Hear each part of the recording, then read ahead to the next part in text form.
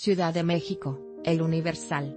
Guión Diego Armando Maradona buscará hacerse de otra cita con la historia. Ya lo hizo como jugador, ahora va en una revancha como entrenador de Dorados. Mañana, en punto de las 16.30 horas, tiempo del centro de México, Maradona será presentado oficialmente como director técnico del Gran Pez. Sin embargo, el Pelusa entrará en funciones antes de su encuentro con los medios de comunicación, en un lujoso hotel de Culiacán, Sinaloa. A temprana hora en el Estadio Banorte, se reunirá con jugadores y cuerpo técnico para conocerse y hacer el primer trazo del objetivo por el que el Pelusa llegó, el ascenso.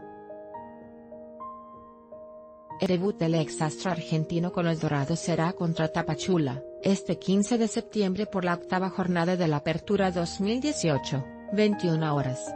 Aunque, el tan esperado debut se podría adelantar si la directiva sinaloense logra el cambio de horario debido a las fechas patrias.